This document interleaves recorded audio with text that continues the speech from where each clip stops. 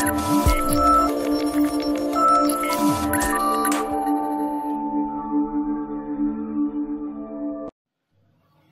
friends, welcome back to our channel. So in today's session, we'll discuss about uh, iterative statements in shell scripting.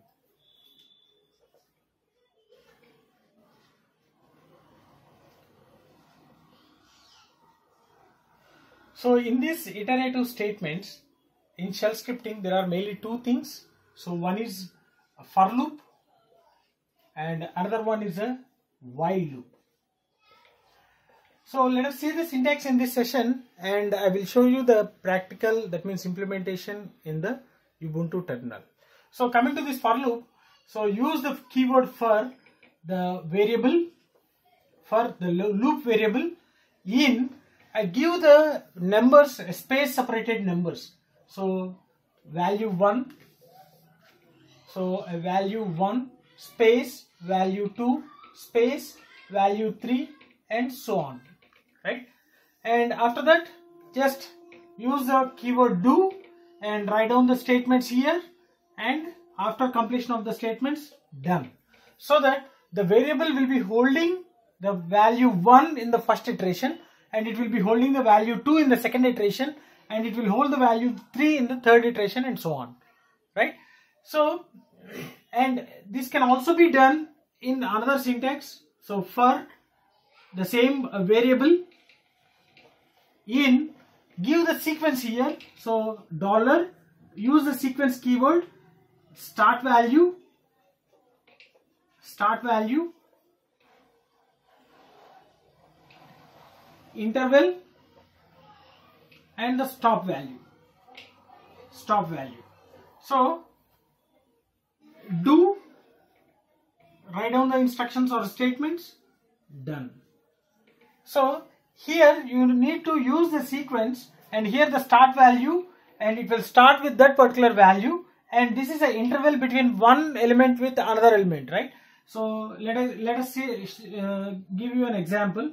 If it is a sequence of 1 1 10 right? So it will start from 1 and the next iteration that means in the next iteration it will move on with the next value. So that interval is 1 so the next value is 2 next value is 3 next value is 4 5 6 7 8 9 and 10 and if it is 2 so it should start with 1 it should stop at 10 with a time difference that means with the, with the difference value is 2 that means it will start with 1 next 3 next 5 next 7 and finally 9 so the second parameter in the sequence is a difference, difference between one value with another value.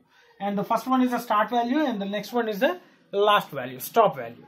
So this is one more way we can execute the for loop. And also there is a one more way similar to our C language. You can use a for loop for use a double parenthesis, the initialization, the variable initialization semicolon condition semicolon updation. Updation. So write down the statements here. Do and finally done. So this is one more way to execute the for loop. But this will be executed i mean this, this depends upon the shell you are using. So in some shells this, this this syntax will not be worked so i will execute the things in the terminal and I will show you regarding this for loop. And then coming to the while loop. So while loop is also similar to this for loop and which we have learned in previous languages C or C++. So while followed by the condition. You need to write the condition. So that can be either simple condition or the compound condition. So do following the statements and done. So here also the updation should be done here. The updation should be done and initialization should be done. Initialization. Right? So whatever the iterative statements we are using the three things should be done. One is a loop variable loop variable initialization. The second one is condition So we have to write this condition because uh, after uh, some finite number of steps, the loop should be terminated. Otherwise, it will move on with the infinite loop. So to in order to terminate the loop, we are supposed to write this condition. And the ne next updation. So for every iteration, the loop variable should be updated so that it should reflect on the condition. So after finite number of steps, the condition should be false and then the terminal will be, I mean the loop will be terminated. So here initialization should be done and inside the while we have to write the condition. So this is also called as a entry controlled. Entry controlled. So because entry control because if the entry itself we are checking the condition and if the checking if the condition is true then only the control will enter into the loop right so these are the instructions we need to write and these instructions will be keep on executing until the condition becomes false and here we will write the updation. For every iteration the updation will be done and that will reflect on this condition. So every iteration we need to check the condition. When if the condition is true then only the control will enter into the block. So this is the syntax for while loop and previously we have seen the syntax for for loop. Now i will show you the execution part of this while and for loop in the terminal. So we'll take a small example and let me demonstrate that uh, in the terminal. So let us move on to the Ubuntu terminal.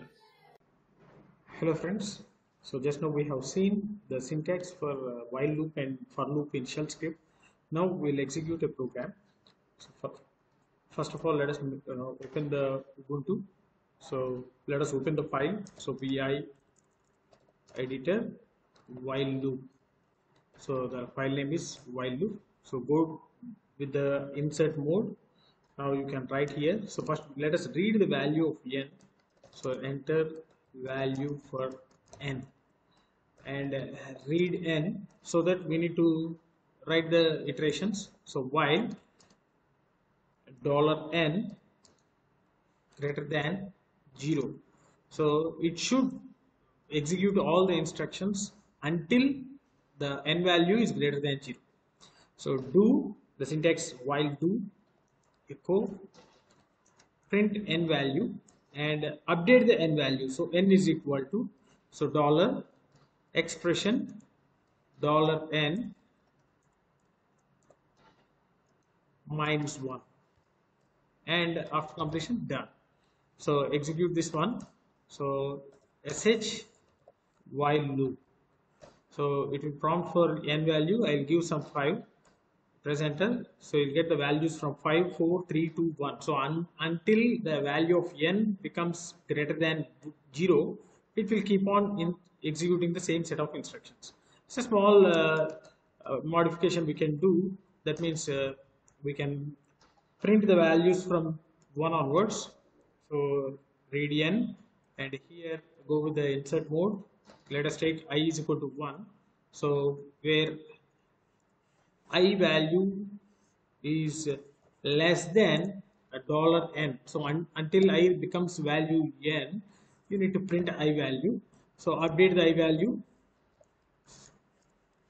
Uh, increment i value for each and every iteration and uh, execute the statements.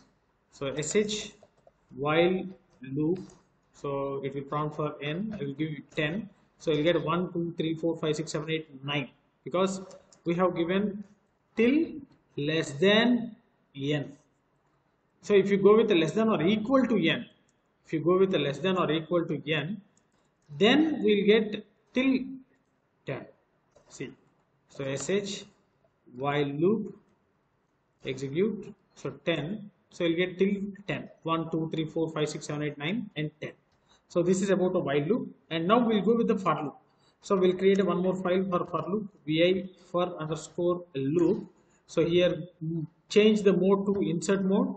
So for i in i is nothing but a variable loop variable in write down the space separated values. So i will give 1 2 3 4 5 and do print the i value dollar i. So for every iteration i will be changing towards the 1 and the next iteration it will move to the 2 in the next iteration 3 next iteration 4 next iteration 5 so echo done so you need not update automatically the i value will be update towards on the uh, right hand side value. So in the first iteration, I, I points towards the 1, second iteration I points towards 2, 3, 4 and 5. So save this one and uh, execute by using the sh, sh for loop. So automatically we'll get a 1, 2, 3, 4 and 5. And also we can use the sequence function. So you see uh, for loop, so we have seen the syntax just now, move to the insert mode. So for i in, instead of giving the values here you can also give the sequence for the sequence use the syntax dollar seq give the starting value and give the interval and give the ending value so this implies the i value holds from 1 with a difference to less than 10 so first in the first iteration i will be pointing towards a 1 in the second iteration i will be pointing towards a 3 in the third iteration i will be pointing towards a 5 7 and 9 right? So the three parameters of a sequence are first starting index. Next one is the interval difference between one uh, iteration to another iteration the value of i. And the next one is a stop index. So i'm printing i value. See? Sorry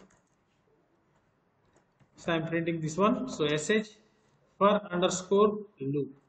So you'll get 1 3 5 7 and 9 so the difference between each and every iteration value is will be 2 because we have mentioned the same in the program. So for loop. See we have given 1 and 2 2 is a difference. So if you give 3 then the interval will be difference with 3 sh for underscore loop. You can see 1 difference of 3 so 4 7 and 10 so this is how we can execute the for loop right? So by using a sequence as well as the space separated values given in the iterative statement right? So hope you understood this one. So if you are having any doubts regarding this while loop or for loop feel free to post your doubts in the comment section. Definitely i will try to clarify all your doubts. If you really understood my session like my session share my session with your friends and don't forget to subscribe to our channel thanks for watching. Thank you very much